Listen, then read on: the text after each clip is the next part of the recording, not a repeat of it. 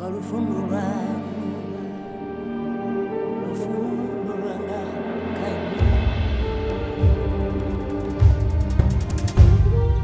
are continuing with Luke chapter 1 from verse 46, and it's titled Mary's Song in my NIV translation.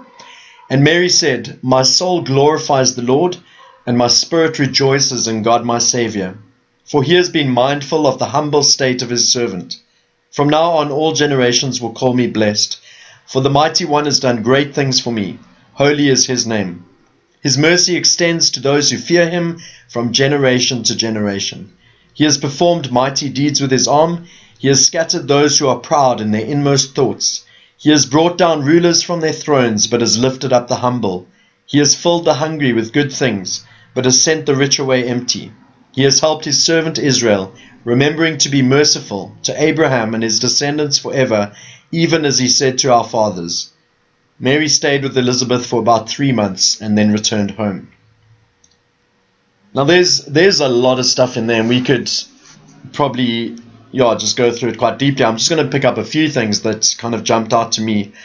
The first one is just this this level of rejoicing that Mary has. She's connected with her cousin. They've got this shared understanding that they're each carrying a child that is very important and very significant to the world.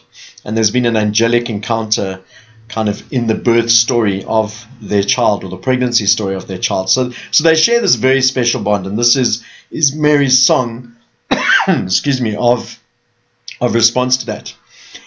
And it's very interesting that she says God has been mindful of the humble state of his servant because like if you call yourself humble, are you in fact humble?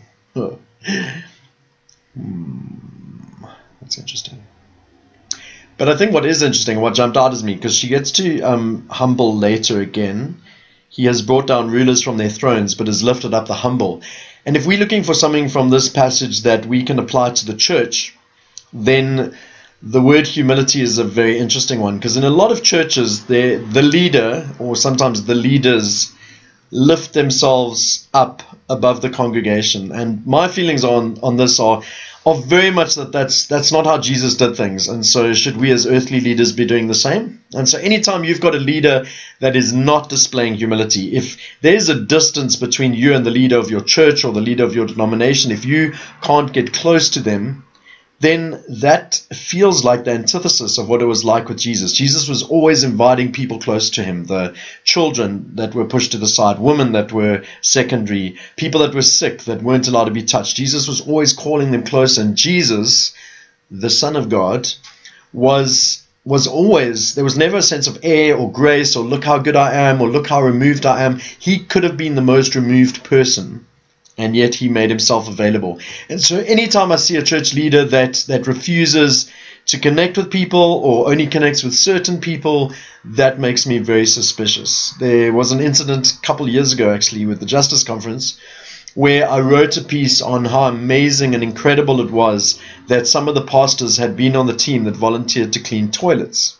And I found out late, later after that secretly from a meeting that someone I know went to that that a pastor took issue with that and had big issues with my blog. Never approached me directly, as Jesus might have told him to do, but apparently found it disgraceful that I was suggesting that pastors should clean toilets. However, I think in Mary's song, she's kind of preempting who Jesus is going to be. And firstly, she's giving recognition to God for kind of lifting up the humble, bringing down rulers from their thrones. And so this is just a challenge to you. If you look at the pastor in your church, is he a humble person that would be raised up by God, or is he a ruler on a throne that God might bring down?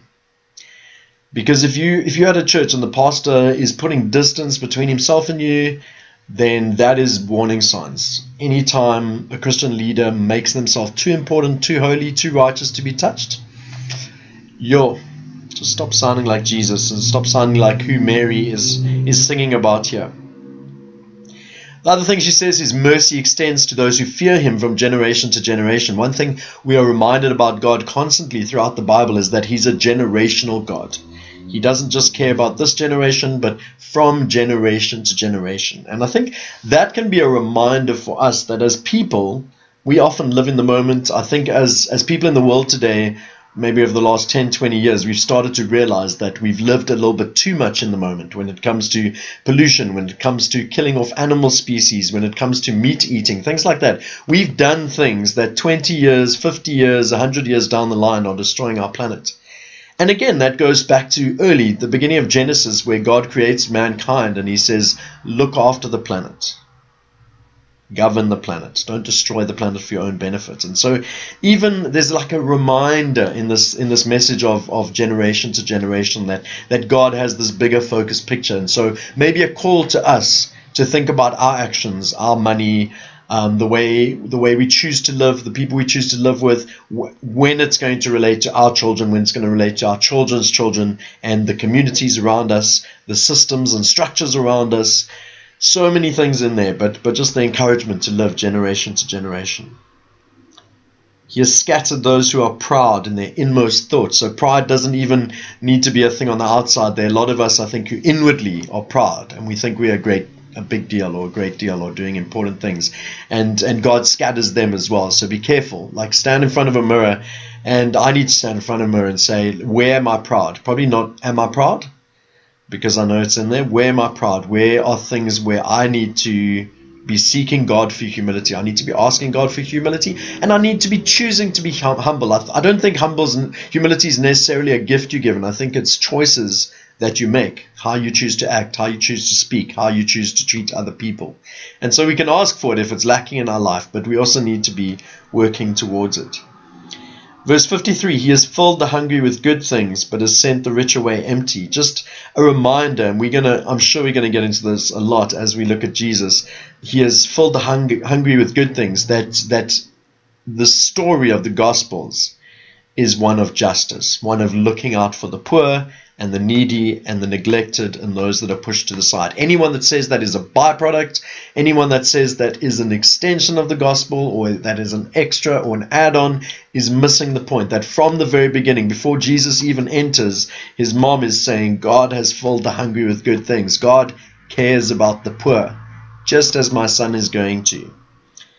And yeah, like I say, there's a lot more in there, but I think those are, are some of the things, some direct things we can take from that song, but also just some of the things we can infer given the greater story of the Bible that that Mary has shown humility, and so the fact that she mentions it, she I think she's just taken aback, like humble servant, um, is not a case of her going, look how humble I am. It's just like I'm nothing. Why? Why has God chosen me? Why has God decided to use me in this way? And I think I think she's kind of responding in awe to the fact that God has chosen to use her, and that's why she can say, sure, just a humble servant, and also a recognition that this is who I need to be.